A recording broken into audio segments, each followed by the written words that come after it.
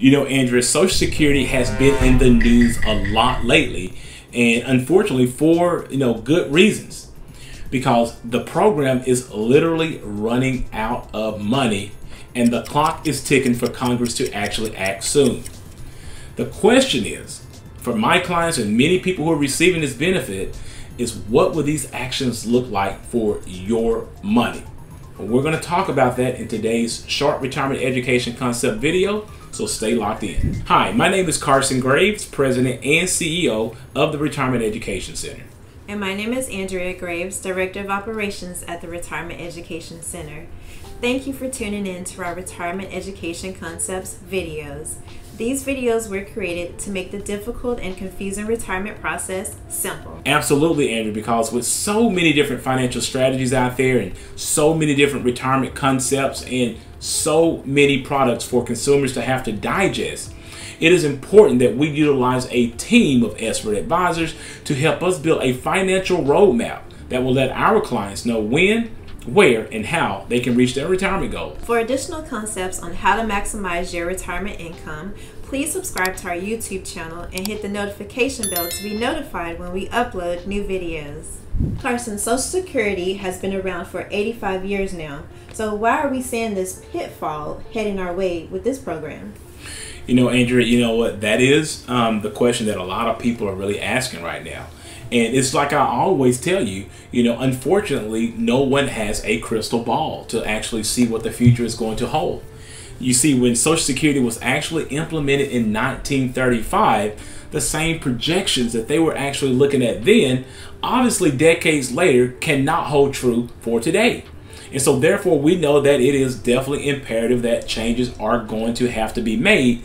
But the question that what are those changes going to look like for your retirement dollars if you're receiving this benefit? And that's what we're going to talk about in today's short educational video. But before we do, there are always two rules to retirement income that we always like to give you. And Andrea, what are those two rules? Well, rule number one is to never run out of money. And rule number two is to never forget rule number one. All right, so let's go ahead and talk about some of the changes that you may be seeing in order to keep Social Security solvent. Well, Carson, uh, most people believe that at a minimum that it will require Congress to raise taxes to save Social Security. So do you feel that way? You know what, Andrea, I, I absolutely do. Unfortunately, I do feel that way. You know, when you're looking at where we are right now, it could be a combination of raising your taxes and, of course, um, unfortunately, cutting some benefits.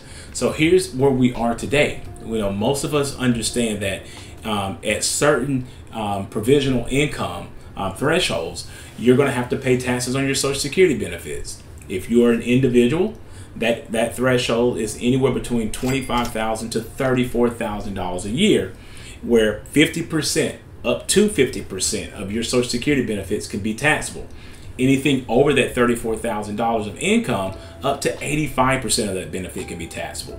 Now, if you're married and you're filing jointly, that threshold is between $32,000 and $44,000 a year, where up to 50% of that money can be taxable to you and over 44,000, up to 85% can be taxable. So what could they change there? Well, they are speaking about where perhaps that the thresholds are actually increased. So that means that the threshold that you can get taxed on up to 50% may then become up to 85% right away. And then when you get to the threshold of 85%, they may make Social Security 100% taxable. So, Andrea, that is one of the changes that many retirees may have to deal with. Now, people already growl at the fact that their benefits are being taxed. Now, I just can't imagine the mood that they would be in if they're if it was increased. Absolutely, Andrea, and that's just one of the things that um, people may have to consider um, with this program in order to keep it solvent, unfortunately. Carson, what are some of the other changes that you see coming? Well, Andrea, there are many changes that we see coming down the pipeline in order to keep this uh, benefit program solvent. But one of the things that may be a really big thorn in the side of people paying into the system and those who are receiving it is that they're going to continue to maybe look for ways to pull money out of your paycheck. So, Andrea, as you know, if you work for an employer who actually takes out for Social Security, you're going to be paying 6.2% of your income into that particular program, up to $142,800 in 2021. So one of the things that we've already spoken about is that we know that that's going to continue to rise each and every year. So we know that's going to be a way in order to increase the solvency of Social Security. But here's the thing that people may not realize. That 6.2% that you pay as an employee could also be changing as well. So unfortunately, Andrea, this may be one of the things that you're going to see happen with your paycheck your employer is going to probably be taking a bigger uh, bite out of it. Carson, are there any other notable changes people should be looking out for?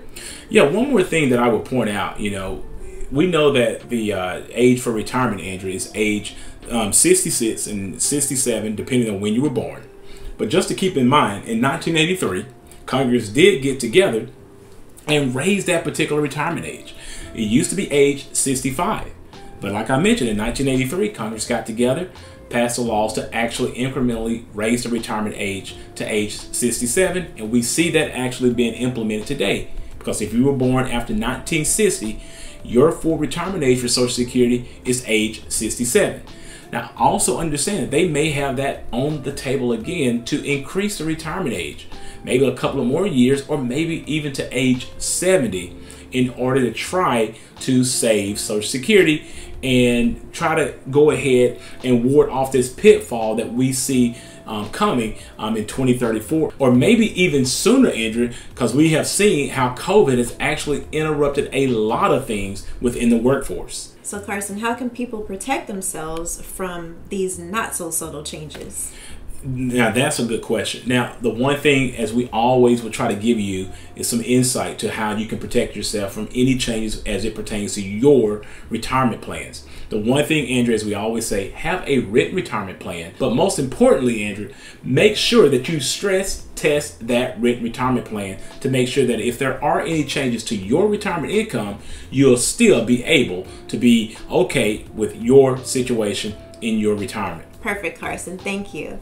And thank you for watching. And if you feel like this video is beneficial for you, please like and share with others. So I really do hope that the information that we shared in this video was beneficial for you today.